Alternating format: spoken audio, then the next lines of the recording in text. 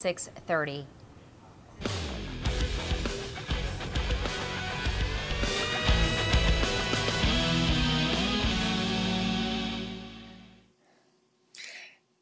Good evening, everyone. I'm Fletcher Mackel reporting this evening from my home in Mid City. And right now, Pelicans Executive Vice President David Griffin, Vice President Swin Cash, and head coach Alvin Gentry are live on the NBA Twitter feed discussing racism, police brutality, and the shared responsibility to drive change. We will hear from all of them coming up tonight at 10 o'clock. But right now, let's talk about Gayle Benson, the Saints and Pelicans owner. Within the last hour, she released a statement on behalf of both franchises about the murder of George Floyd.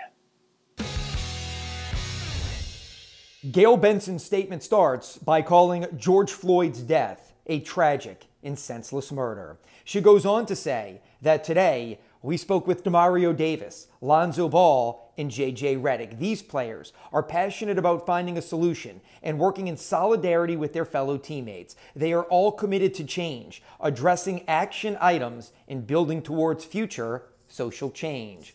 Other players like Malcolm Jenkins spent the last two days marching in peaceful protest in Philadelphia. Jenkins, of course, played the last six seasons with the Philadelphia Eagles. He's now back with his original NFL team, the New Orleans Saints. Also, Pelicans player Jaxson Hayes spent the weekend at a peaceful protest in downtown New Orleans.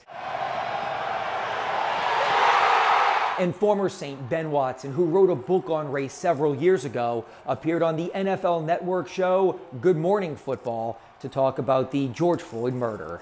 We need to move and we haven't moved yet in this culture to actually making substantive changes in our legal in our legal system, in our law enforcement system, in our justice system. That's why we keep seeing some of these same things happen over and over again. And back to Saints and Pelicans owner Gayle Benson. If you want to read her full statement, you can go to the WDSU website or any of our social media platforms right now. For now, reporting live from my home, I'm Fletcher Mackel, WDSU News.